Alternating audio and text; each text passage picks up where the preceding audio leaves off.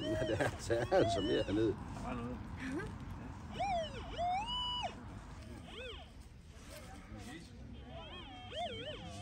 Og den er ikke, den er ikke helt ny. Det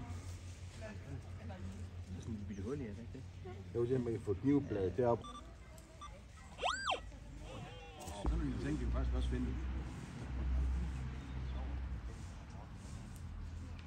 Nu altså finder vi